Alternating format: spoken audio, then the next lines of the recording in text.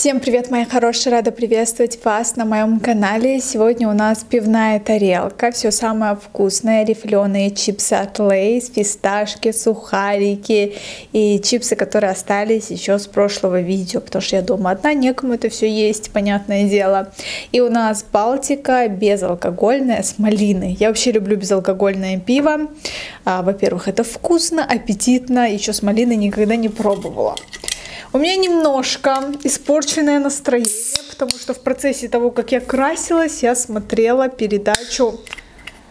Ой, господи. Получилось. Ой, как, как пахнет, какой аромат. Вау, просто. Как я поняла, это новинка. Здесь даже написано, сколько килокалорий здесь. В общем, давайте приступим. Почему я расстроена? Я смотрела «Холостяка». И просто поняла, что это просто шоу. Тут никаких чувств, ничего такого нету. Потому что самых таких классных девушек Тимати специально отсеивает. И такое, знаете, разочарование – я почему-то думала, что он реально будет выбирать себе там девушку на жизнь и так далее. До этого там с Егором Кридом я не смотрела «Холостяк».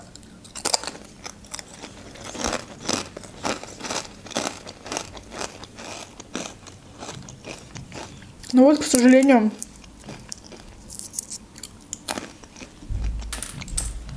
Причем, знаете, он оставляет девушек которые несут какой-то бред, которые ему по росту не подходят, вообще какие-то не очень.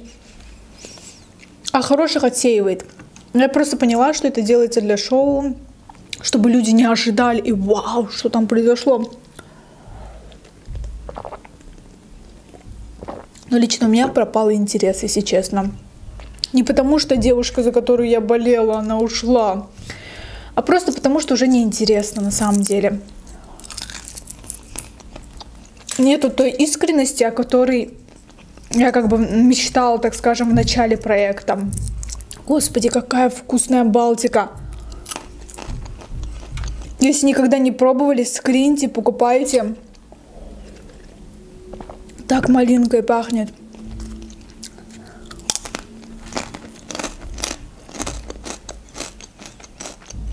Поэтому вот так вот, к сожалению, мои мечты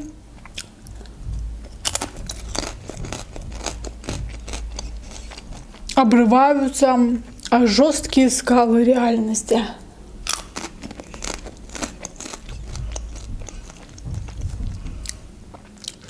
Я не хотела рассказывать, если честно, изначально. Потому что, вы знаете, мне мама всегда говорит, когда что-то рассказываешь, в конце что-то не получается, или получается какой-то бред. Я соглашусь с вами, так оно и есть. Но вы знаете, что я собираюсь покупать квартиру и сегодня мы с двоюродным братом идем смотреть один вариант.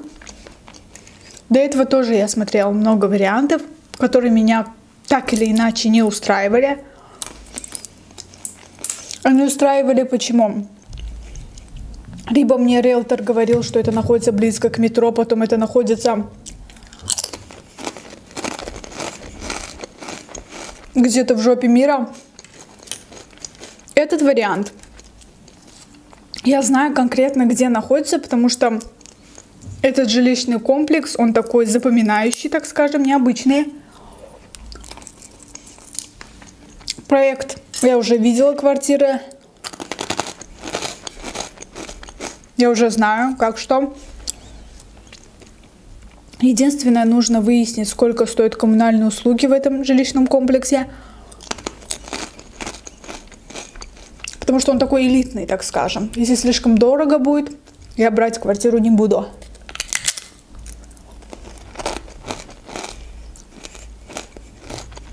Не хотела говорить вообще об этом. Ну ничего, расскажу, получится.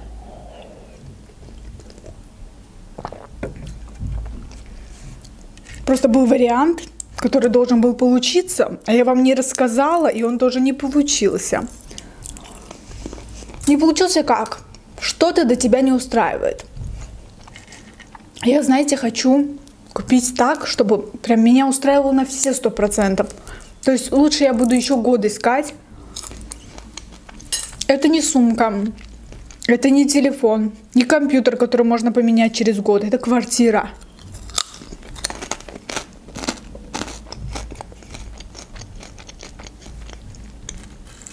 Вариант, который я сегодня буду смотреть, он стоит почти 3 миллиона.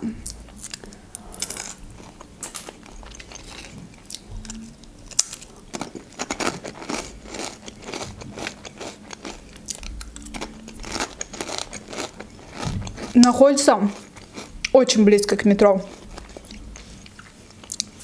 Ну, в общем, даже не знаю, стоит ли это рассказывать, потому что непонятно. Сегодня в 6 у нас встреча, и мы должны пойти туда. Как раз мы хотим измерить, потому что здесь есть такая погрешность. Иногда в документах написана одна квадратура, когда ты начинаешь измерять квартиру, там оказывается намного меньше. Поэтому мой вам, совет. Какая вам разница, что написано в купче? Или какая вам разница, что написано в договоре? С МТК. Зачем вам это? Главное реально, сколько в квартире квадрат. Одну квартиру там мама смотрела. Я сразу смотреть не пошла, потому что жилищный комплекс ужасный. Мужчина говорит, что у него там 63 квадрата. Измерили 56. Ну и зачем мне за 62 квадрата платить, если фактически этих квадратов нет? Еще потом коммунальные услуги платить всю жизнь. За 62 квадрата, которых нету.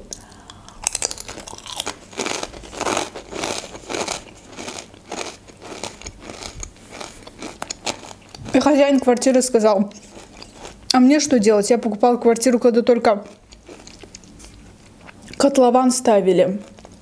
И мне продали 62 квадрата. У меня такой встречный вопрос, а мне что делать? Я же не виновата, что тебя как бы обманули. Правильно, я обманываться не хочу. Хотя там месторасположение хорошее было. В общем, много-много факторов. Я, возможно, еще очень долго буду искать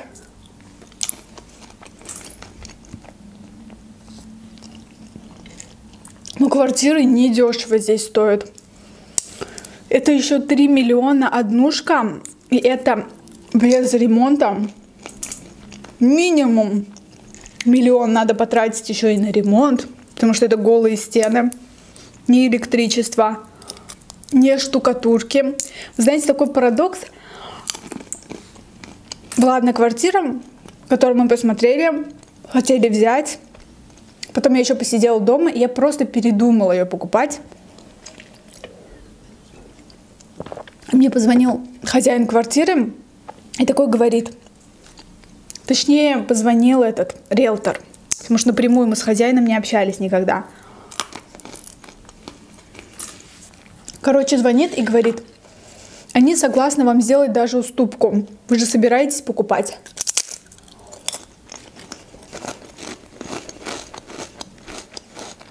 Я просто не знала, как культурно отказать, потому что я была не уверена в этом варианте. Там был вариант с ремонтом, продавали недорого, учитывая, что еще есть ремонт, но я не хотела чужой ремонт.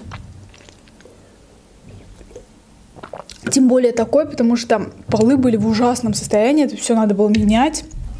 Даже если сдавать, и то такую квартиру ты дешево сдашь а года через 5-6 тебе опять там косметический ремонт делать. Все это дело обновлять. Ну да ладно. И вот звонит он мне, я не знаю, что сказать. Я ему говорю, вы знаете, я присмотрела однушку около метро в жилищном комплексе. Говорю название жилищного комплекса. Говорю, скорее всего, там буду брать. Он сказал, окей, решать вам. До свидания. И сейчас я иду смотреть квартиру именно в этом жилищном комплексе, который тогда соврала тому. То есть, если я куплю, это будет прям судьба какая-то. Я прям была вангой до этого. Почувствовала.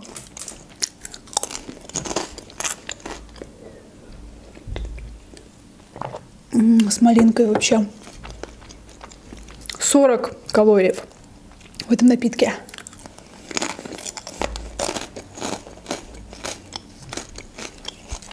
Мама всегда говорит, не говори, пока не перепрыгнешь.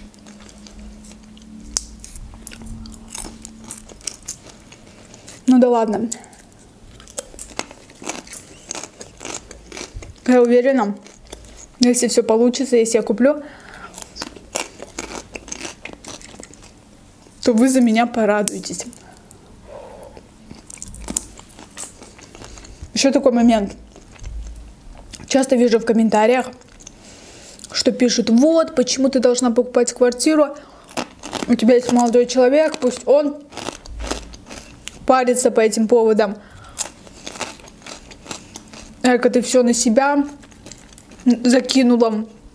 А что мужик-то должен делать? То есть очень много критики по отношению к моему молодому человеку из-за того, что я собралась покупать квартиру. Мне, конечно, безумно приятно, что вы оберегаете меня. И я считаю, что вы правы, когда так пишете. Что мужчина должен тоже задумываться о таких вещах. Но квартира, которую я покупаю, это не та квартира, в которой мы будем с ним жить. Мой молодой человек, он такой человек, он никогда в жизни не будет жить на территории девушки. Я об этом говорила вам уже однажды в видео. Но все равно опять вижу такие комментарии. Хотелось бы это повторить, чтобы избежать эти комменты. То есть у родителей моего молодого человека есть несколько квартир в городе Баку. И это нигде я покупаю.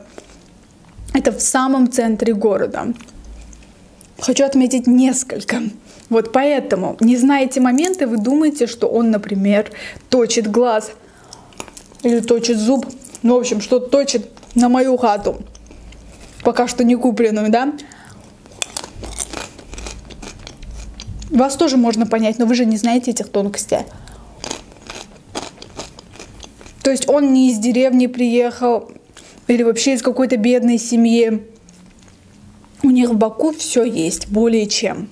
Нам есть где жить, нам не надо брать ипотеку, то есть никаких жилищных вопросов у нас с ним нету. Просто я считаю, что девушка должна быть независимая. Девушке всегда должна быть своя квартира. В случае чего, мало ли что. Куда бы она могла собрать вещи и уехать. Да или вообще сдать просто. Я, конечно, могу потратить все свои деньги, пойти купить себе супер дорогую, супер крутую тачку и понтоваться перед всеми. Вот я блогер, я такая крутая, у меня офигенная тачка. Но я советую вам тоже и сама всегда вкладываю в свое будущее, нежели в понты. Попонтуешься ты сегодня, завтра, а дальше что? То есть я могу купить супер классную тачку, но не хочу. Более того, я вам не рассказываю, но я вкладываю в акции. Не знаю, пока что не очень в этом разбираюсь, но в любом случае. Советую вам тоже не делать видимость того, что вы богаты а быть проще и вкладывать в свое будущее, чтобы завтра с протянутой рукой вот так вот не ходить.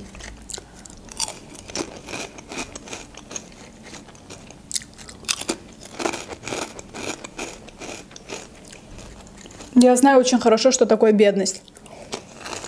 Я не росла в роскоши.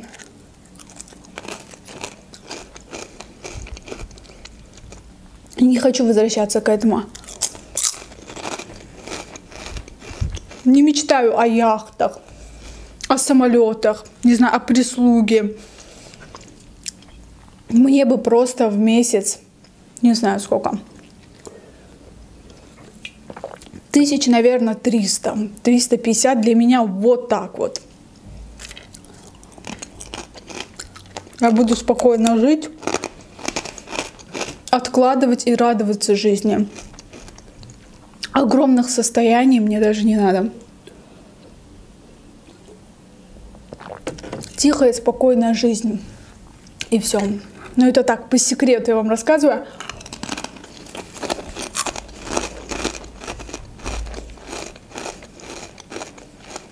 В 6 мы идем смотреть, все измерим, поговорим с комендантом, что как почем. Надеюсь, что все будет чики-пики. На этом все, мои хорошие. Я выпила, поела. Спасибо, что досмотрели это видео до конца. Обязательно пишите свое мнение в комментариях. Всех люблю, целую. Всем пока.